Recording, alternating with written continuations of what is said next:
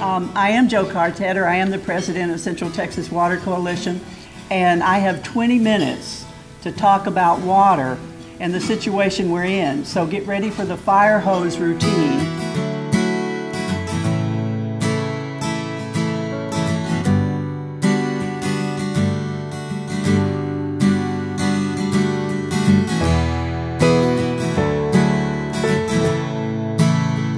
You know, you say hallelujah. They finally are beginning to recognize that if there's not water in the reservoirs, how are we going to provide drinking water? How are we going to maintain businesses? Development. It's great that there's development and we're growing leaps and bounds. But you've got to ma- you've got to manage your natural resources in a smart way.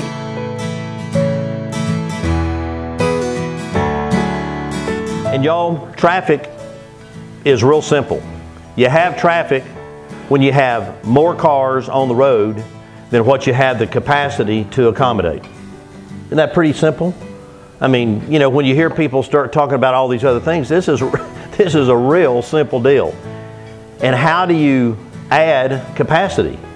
Because that truly is the major issue that we have.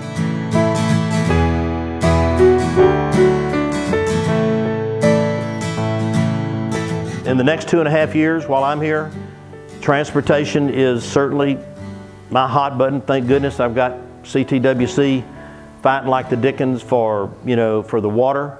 Um, you know, I certainly, you know, am amenable to helping any way that I can with that. But y'all, we've got to find some folks that's willing to stand up in front of people on mobility and transportation and quite frankly tell you some things that you sometimes don't want to hear.